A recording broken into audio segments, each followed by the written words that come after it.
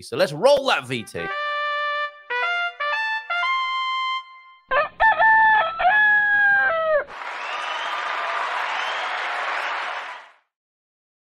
It's like there's a little bit of um, over. They say there's lossless copying um, when it comes to digital. It sounds like that one needs to be redone. A little bit of uh, how, how's your father going on with that one? I'll, have to redo that Vingle, I think. Anyway, here we are. Try something Portuguese today. It's these bad boys. You've seen them in the bar. You might not have tried them. And we're going to do that this morning here on the Good Morning Portugal show. And they'll come in a little tray or a little a saucer like that full of beans to go with. Um, oh, nearly spilt saline on my mixing desk there. So here you go. Close up. That's what they look like. And these in Portugal are traditionally eaten with beer. Now, like a Sagres or a Super Bock. Um, the important thing with these, and I'll be careful not to drip on the microphone or the desk here, but there's this is a, the rookie error with these. Um, and if you're a bit naughty, you'll let your new visitor to um, the country eat this with the outer skin on. The idea is to pinch the bean, so to speak. Who doesn't like to pinch the bean first thing in the morning? And I have rem- I have removed the outer skin revealing. You see that? What's that called? Um, the little. It looks like a sea creature now, doesn't it? and all the best things in life look like sea creatures. Have you noticed? um, now the, the, little, if it were to germinate, that's the little little foot that comes down, isn't it? There.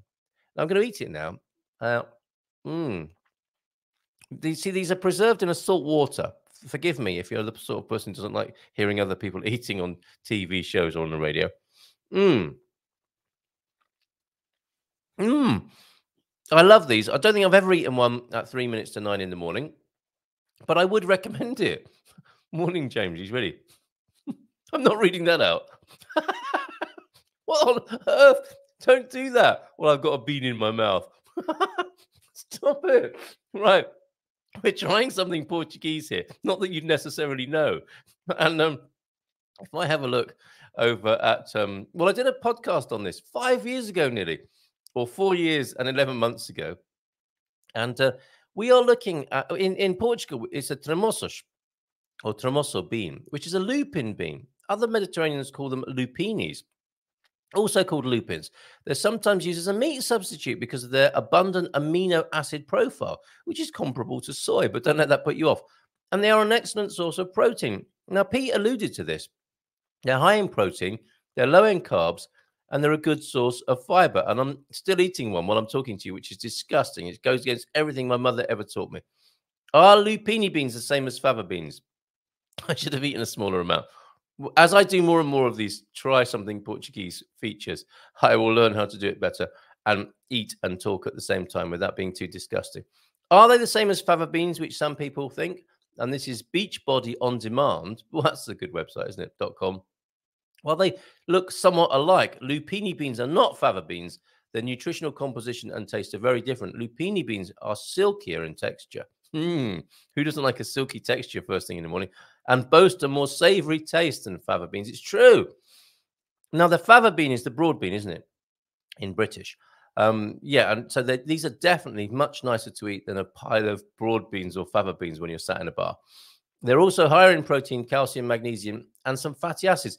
So this absolutely gets a thumbs up from me, I've got to say. Trying something Portuguese this morning. It has been the tremoço or the tremoços uh, in plural. Um, a variety of beans called sweet lupins contains fewer of the bitter alkaloids and requires less soaking. If you don't eliminate all the bitter compounds, the beans are not only harmful, they'll taste very bitter. So by the time they've got to you in a jar like this, uh, where are we? Let's come back to um, the camera here. Look, they look lovely in their little they look like a snowstorm, don't they?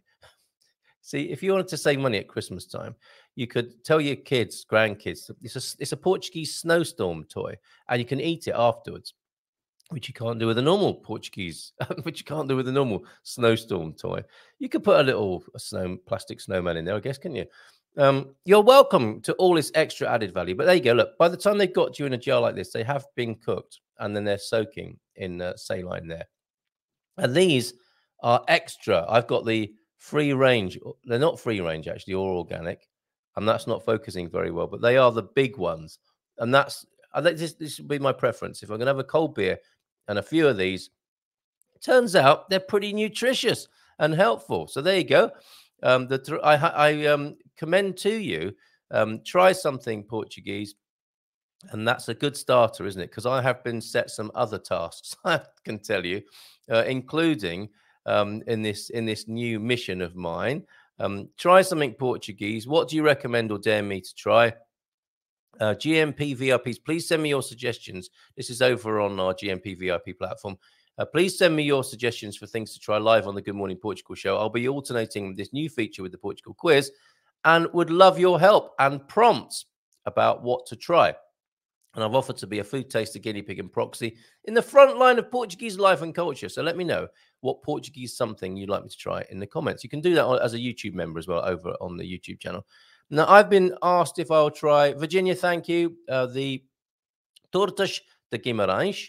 Uh, thank you. Got to go to flipping Guimarães to get some of those, I think. Alheira de Mirandela from Antonio, who's here this morning. Not the industrial ones, the real deal. Um, I will at some point do it. You know I will. Um, but that wasn't an easy one to pull off this morning, so to speak. Francesinha, I'm up for that. I'm up for eating a Francesinha, and I'll have to double up with Mrs. M so that I can get a big mouthful of Francesinha and not render myself incapable of running a show. Um, so there you go. Francesinha, uh, the Alheira de Mirandela, and Tortas de Guimarães are the suggestions so far. So thank you very much for those. I will get back to them. But we've got to move on now.